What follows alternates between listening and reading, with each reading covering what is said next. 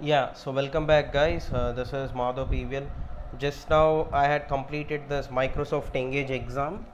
So now, uh, I will just show you how to complete this exam. So you will get a mail like this, and after getting a mail like this, click on this link, and you will reach to the other place. And then after reaching there, you need to uh, just fill upon your details. As my exam is completed, I think I can't uh, do all these things. Yeah, fine so you need to just fill all these things and this you should fill the Gmail in which you received the mail.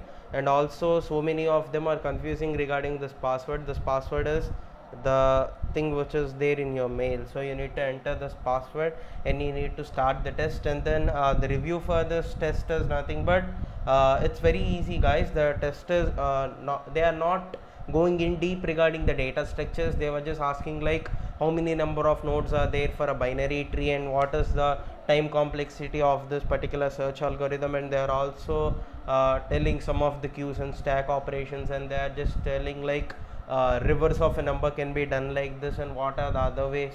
So uh, they were just uh, using very basic they were just testing our basic knowledge in uh, data structures. So there is nothing to worry about this exam. It is uh, very easy and you guys can uh, check it out and try it and make sure you complete this exam before 11:30 because the ending time is 12 so the exam timing is for half an hour.